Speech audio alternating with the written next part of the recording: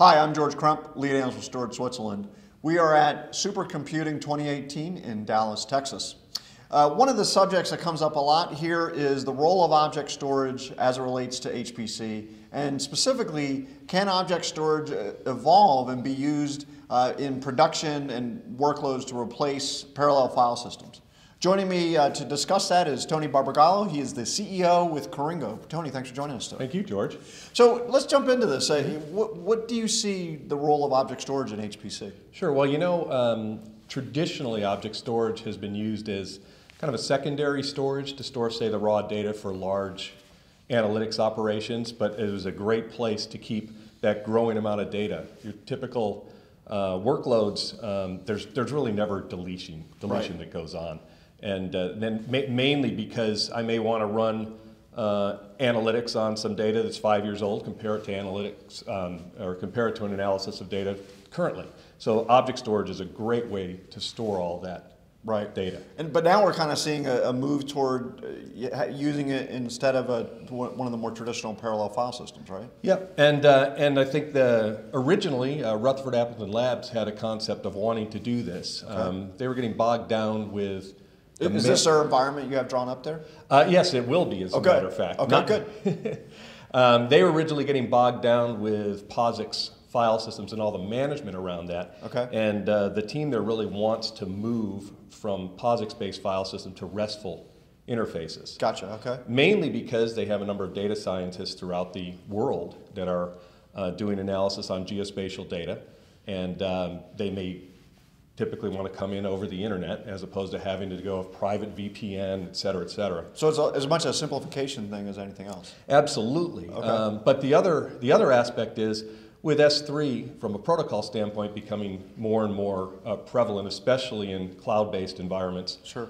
Um, it made it much. It makes it much easier now to, if I could train my organization on how to use S3, I can run and build an analytics applications that just use that protocol. So now I'm looking at the same files internal to the organization as well as external. Gotcha. Why don't you walk us through what you have here? Sure. So, uh, the, so the theory, though, behind replacing parallel file systems with an object storage environment really had to do with removing the bottlenecks that are typically associated with object storage. And since object storage is using uh, a web-based HTTP protocol, the first bottleneck is typically around the network. Okay. So um, the, their first idea was to use a sort of a typical HPC leaf spine network with 100 gig top of rack switches as well as 100 gig um, main switches and the same up and down uh, read and write, ingest and egress okay. throughput. So, so 100 gigs up to the clients and down to storage? Absolutely. Okay. And, and obviously some clients, if they're out over the, the internet, they may not have that, right. That level, but internal um, to have that kind of uh, throughput with the ultimate goal to be able to realize the whole benefit of the, of the disk throughput. Gotcha. So the typical environment for disk is 7200 nearline SAS right. drives, and that's really what, what comp comprises all of this. Okay. The other uh, key advantage of using S3 and sort of having a bridge, at least with our solution, is you, up here you can, you can talk NFS or S3 to the same files okay. in the data so, store. So no matter how you're coming in, you could kind of go in with whatever you're comfortable with. Right, and the, the beauty of the NFS aspect, especially if you're coming from a POSIX environment, it creates a nice transition right. Um, before you actually build your S3-based applications. Less retraining, all that kind of stuff. Exactly. Right? Yeah. Okay. Exactly. So, so with all of this in place, um, the, the real test or experiment was, can an object store actually achieve sufficient enough throughput so at least for read, for the read intensive applications. Gotcha. Yeah, and I, I, think that would be a common, like, sort of conventional wisdom. Hey, it's not going to be fast enough, right? Right, exactly. Yeah. And so in this case, they're capturing geospatial data from around the world. Okay. So the data comes in, but the interesting part is to be able to read that data and do analysis on it. Gotcha. And again, the goal here is not having to move the data from an object store to a distributed environment where the analysis can then be done and then move the data back or the results right. back. So basically, put it there once and use it in place. Correct. Gotcha. Yep. Okay.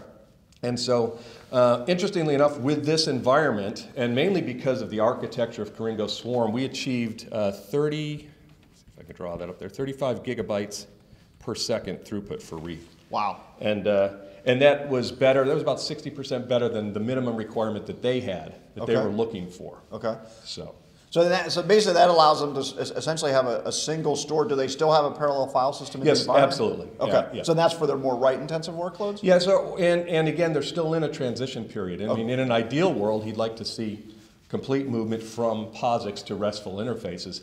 Because, uh, because again, the RESTful interfaces, I can start moving things underneath from an architecture standpoint, from an infrastructure standpoint, without having to disrupt anything from a, from a management standpoint, administration standpoint, as far as the data scientists are concerned. Okay. So what were some of the key benefits that, that I guess this customer saw and, and you would expect other customers to be able to Yeah, one of the one of the interesting things is most um, proof of concepts are done typically in a smaller type of environment, Okay. and then um, the organization, the customer will extract. Well, okay, if I got this much in this environment, I'll probably get Right. this much more with with more infrastructure, more hardware. Sure. And uh, and it seems that most object storage uh, solutions they all tend to shine in those in those POCs. The really Right. question is what happens when they scale. Right, sure. So in this particular case, the proof of concept was a fully scaled out Oh. environment. So they went all in. they went all in. So in our case, we again we achieved uh, greater than their minimum required um,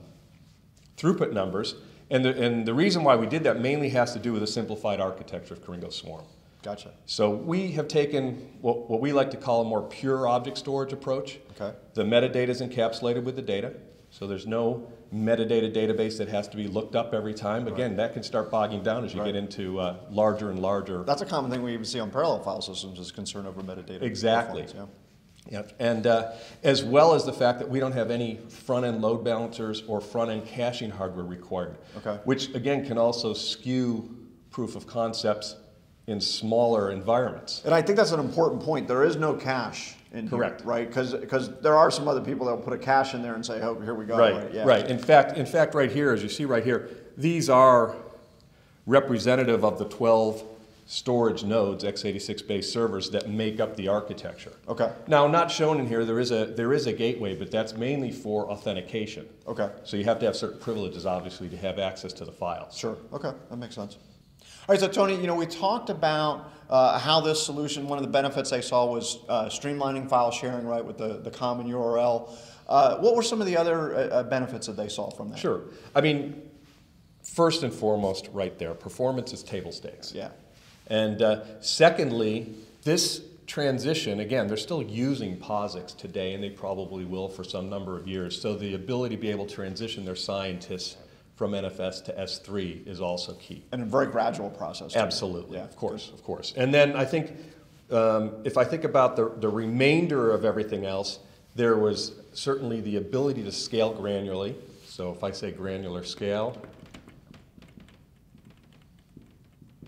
And And that's a I- big one too, because a lot of times, like especially with like object storage, you got to buy it like in petabyte chunks. It feels like, right? So the ability to go very small is, is big. right? Absolutely, and, and they might have a grant that says that they only can fill up, they only have enough disk space to fill up half a, half a server. Good point. So I can do that with, with Swarm. Okay, all And right. just buy the, the capacity for those servers. Okay. And also, no client software. So if you think about having to install some kind of driver on each of these clients, you know, that's just, that, you don't do that. Right. So that's again, a huge simplification from a management standpoint. Absolutely, especially because a lot of these environments have a lot of clients, right? Right, right.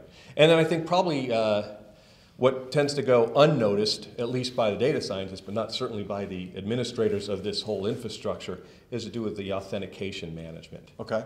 So if I can, if I can, for instance, share a URL for 24 hours, that's that's all doable in the object storage environment. Gotcha. Okay, great. So, yeah, so I would say uh, authentication management, Okay. MGMT. There, that would be that would be probably the last the last one that I can think of. Okay. I mean, that, those are some pretty big takeaways. So thanks very much for joining us today, Tony. All right, thank you. So there you have it. If you're looking to really kind of expand the, the use of object store in the HPC environment, this gives you a really good example of how it can be used in uh, write once, read many type of uh, workloads, potentially replacing uh, parallel file systems. I'm George Crump, lead analyst with Storage Switzerland. Thank you for joining us.